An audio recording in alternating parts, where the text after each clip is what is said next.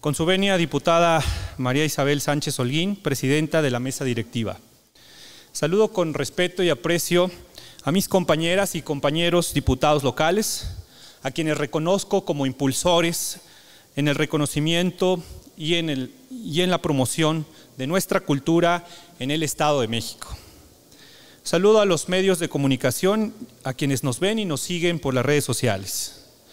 Reconozco la presencia de mi estimado presidente municipal de Temascalcingo, doctor José Luis Espinosa Navarrete, quien el día de hoy nos honra con su presencia, acompañado de una digna representación de su municipio a esta, la Casa del Pueblo. Doy la bienvenida a las señoras Teresa Velasco Aiscorbe y Mireya Sánchez Velasco, bisnieta y tataranieta respectivamente de don José María Velasco, así como a los integrantes de la Asociación Cultural Temascalcingo Honra a José María Velasco. Bienvenidos todos. Señoras y señores, aplauso, aplauso a todos. Señoras y señores, bienvenidos todos.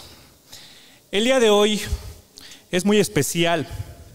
Debemos inscribir en nuestras memorias el 5 de marzo de 2024 como el día en que la sexagésima primera legislatura del Estado de México tuvo a bien reconocer en la historia a un mexiquense, quien a través de su arte muestra el paso del tiempo y exhibe el talento que nos ha dado identidad, porque ese también es parte del quehacer legislativo.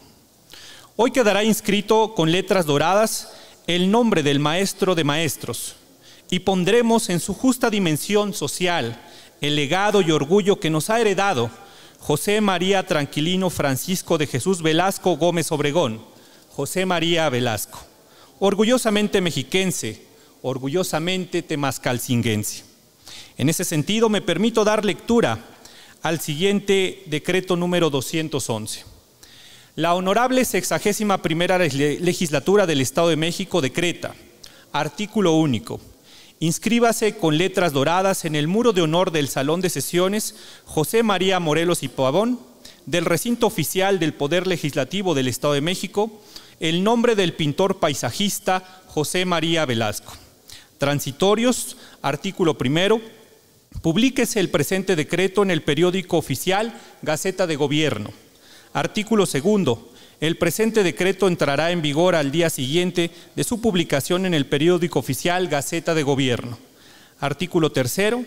La Junta de Coordinación Política de la honorable sexagésima primera legislatura del Estado de México proveerá lo necesario para dar cumplimiento al presente decreto y determinar a la fecha, el orden del día y el protocolo en la sesión solemne para la ejecución de este mismo dado en el Palacio del Poder Legislativo en la ciudad de Toluca del Lerdo, capital del Estado de México, a los siete días del mes de noviembre de 2023, firma Presidenta Diputada Azucena Cisneros Cos, rúbrica.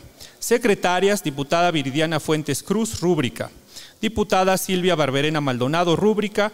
Diputada Claudia Desiré Morales Robledo, rúbrica. ¿Sería cuánto, Diputada Presidenta?